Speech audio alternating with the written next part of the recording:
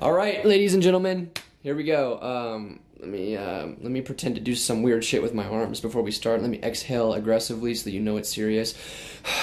Flare the nostrils. Make sure there's no boogies in there. Uh, you know, you can't film a sad, soppy video with boogies in your nose. Okay, been there, done that. But basically, I'm here today to explain where the fuck I've been. Okay, right? Um, so basically, my grandma uh, had cancer and she had surgery, got it removed. She's good now.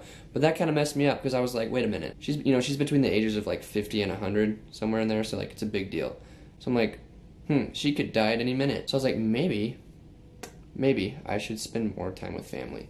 So that's what I've been doing. Also, around that time, my mom decides to get surgery. Oh, how convenient, mom. Thank you for that. And it turns out she's having her baby makers removed. And I don't know the details. I don't really want to know the details. And I'm certainly not going to share them with you because I could probably go to jail. But for the most part, when they explained it to me, I passed out for the second time that day. It was bad. Damn near shit my pants. Really embarrassing. You never want to do that in front of a hot nurse, but that's beyond the point. Beyond the point. They're both doing good, but I thought I was going to have to uh, babysit my mom after her her surgery because they said, you know, when we take out all of your insides and like your lower body, usually you're sore for a few days. And I'm like, okay, I'll take care of you, mom. Don't worry. Turns out she's a fucking warrior. I don't know about you, but when I get a shot, like when I got my flu shot or whatever, I, I, was down for the count for like four days. I had to have Jaycee carry me. And I didn't even have an explanation for it. I just couldn't walk. My mom has her like everything removed and she's able to function like a normal human being the next day. So not only did I feel like a total pussy, but that also meant I didn't really have to take care of her very much. So we ended up just watching Harry Potter and um, eating our favorite cereal. Yeah, I really missed my uh, clickbait on that one, but uh, I'm also completely off of all my medication. Uh, for those of you that have ever been on an anxiety medication and grew dependent on it, you know that it's rather difficult and pretty shitty to get off of it. And I'm officially three months clean, and I feel great, ladies and gentlemen. My nipples are hard three fourths of the day. My shits are solid. They float above the water. It's phenomenal. All right, now it's time to talk about what I've been working on and exactly why I have been gone. So for the last year and a half or so, I have done pretty well in cryptocurrency as well as the GameStop, AMC, and a few other uh, stock market fiascos. Um, I don't know how the hell, but I ended up timing them decently well. Um, and so this has allowed me to use that money that I made to purchase a construction and real estate management company. And I'm not going to get into the nitty gritty details because I don't want you to fall asleep on me. But uh, long story short, I, I want to eventually be creating small communities of 20 to 30 homes of affordable housing that is 3D printed. I think that'll be fucking awesome. I think there's a lot of kids my age, maybe a little below and a little bit above, and all of our money goes to our rent.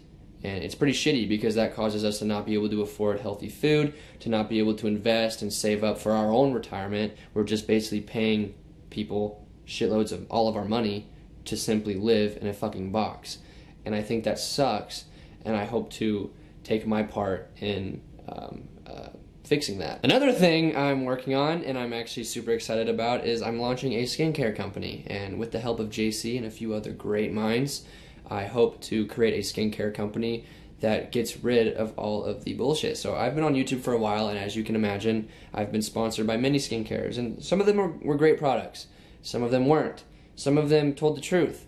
Some of them didn't. Some of them worked.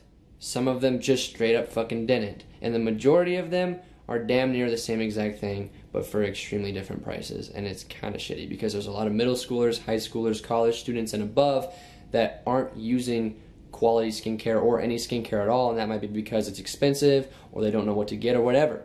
So what I hope to do is create a skincare company that provides a all-in-one package, not a product, okay, not an all-in-one product. That's bullshit. That doesn't exist. It's going to be an all-in-one package that has everything you'd ever need for an affordable affordable price.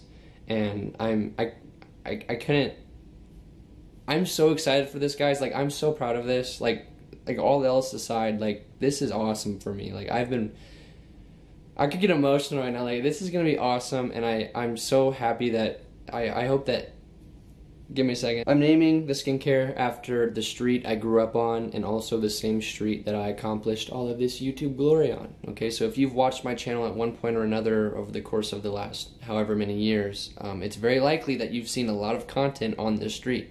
So it will be called Sunshine Street Skincare and I couldn't be any more excited about that. And I can't wait for you guys to take part in it if you decide to. Um, it's gonna be it's gonna be awesome, really. So construction and real estate management and skincare and cosmetics has been basically on my to-do list. I'm also helping Jaycee launch a boutique called Sunshine Street Boutique.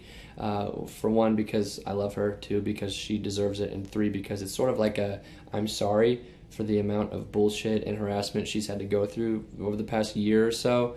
Um, and once again, it's just something that she wants, and I want her to have what she wants. So uh, we're also working on a boutique, and we'll keep you updated on that as well. I'm also working on music. This is something that is going to bother people because you've heard it before. YouTuber decides he wants to be a rapper. YouTuber that decided he wants to be a rapper puts out shitty song written by 10 people. It's shitty.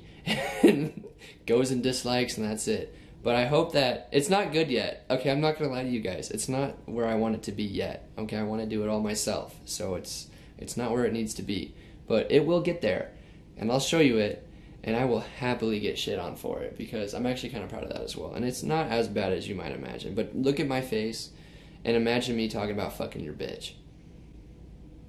Yeah, it's pretty shitty right now, right? Like, like I said. So we're, we're working on it though, like I said. One more thing, I'm also going to officially start streaming on Twitch. That'll be linked down below. You guys are constantly harassing me to stream on Twitch, so we're finally doing it, okay? There you go.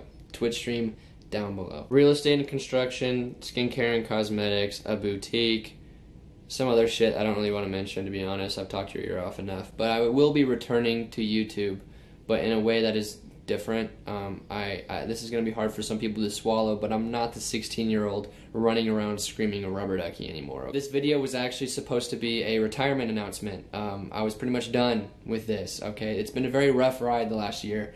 Um, I've, I've faced a lot of bullshit this last year, and it has kind of left a sour taste in my mouth for everything social media. But once again, I've been reminded that YouTube is by far my favorite thing to do the feeling you get when you make a, a video that you're proud of, that you really enjoyed making, and then someone comments and says, hey, I was having a really bad day, this made me laugh and made my day better. It doesn't, nothing compares. Okay, I've played many video games, I've tried many different drugs, and none of them compare to that feeling, and I just refuse to lose that feeling. But in order to get that feeling, I need to make content that I want to make. I just feel like I have a new perspective and a new way of approaching YouTube because fortunately, thank God, I no longer have to worry about getting sponsored, losing sponsors, doing this video because everyone else is doing it, following this trend, saying this, not saying this, or oh, we have to do that to compete with them. Like, none of that.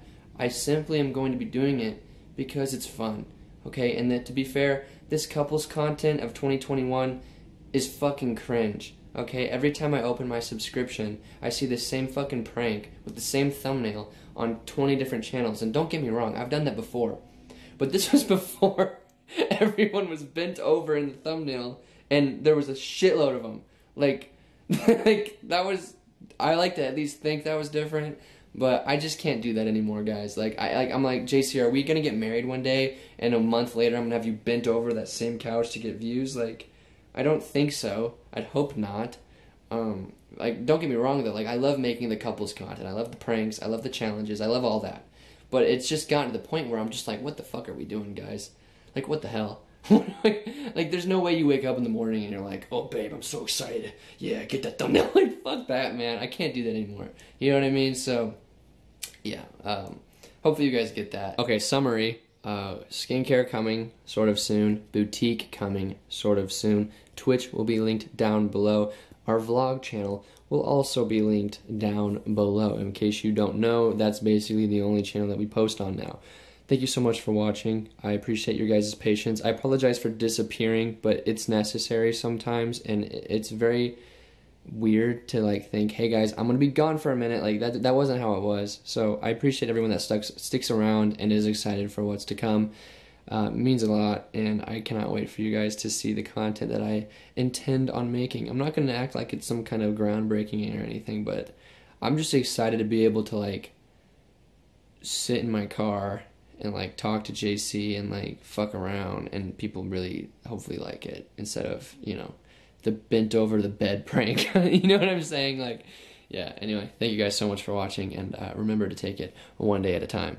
Okay, so I'm now realizing that I don't have any clickbait for this video, um, and I want to make sure that everyone that gives a shit actually watches it. So I'm going to heavily clickbait it. I apologize, uh, but uh, fortunately, Jaycee and I have not broken up. We are not breaking up anytime soon, if it's anything, if it's up to me at least. But uh, yeah, we're not breaking up. We're good. I appreciate everyone that supports me and supports Jaycee and both of us together. It means the fucking world.